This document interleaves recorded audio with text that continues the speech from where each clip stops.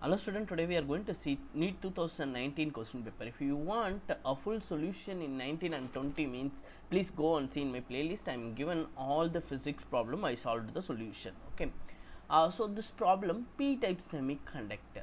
Which of the following statement is true? Okay. First we will need, we need to know what is p-type semiconductor. Okay. Semiconductor, no, there are two types.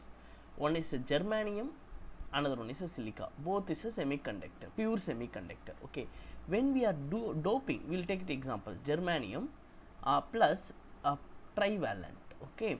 So same thing germanium plus pentavalent two situation i am given okay? So penta means 5 electron outermost electron tri means 3 electron okay? Germanium have 4 outermost electron. So germanium have 4 outermost electron when you are adding the impurities with uh, 3 electron no? So if in case uh, some x element okay phosphorus like that if you are adding with trivalent okay? Germanium have 4 so the bond will be formed here here. One from germanium one from impurities. Here also bond will form one from germanium one from uh, it is impurities. So one from germanium one from infinite uh, sorry uh, impurities okay? But when it's coming here one bond will be formed for because of germanium. The another bond is not going to form here holes will be created okay? This going to be pen uh, it's going to be p type element because uh, it is for one combination. I said for n number of combination we have many holes will be many holes will be created.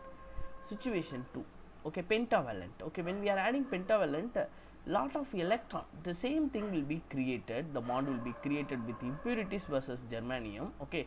Silica also same story okay? Uh, so one electron will be extra that will be stay outside. That's going to be uh, negative uh, n type material. So when the p type material is there uh, so lot of holes will be created. Because of dash because of we are adding trivalent component okay so trivalent component. The outermost electron will be only 3 so one will be defect of electron. So that's the final answer for p type semiconductor. Now we'll see true statement. Which of the true statement? Electron is a majority. Electron is not a majority. Holes will be majority. Or second case. Holes will be majority.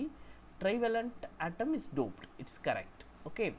Uh, so the next thing. Holes is majority. This also correct but here pentavalent. When pentavalent is uh, added electron will be uh, majority. Okay this also wrong.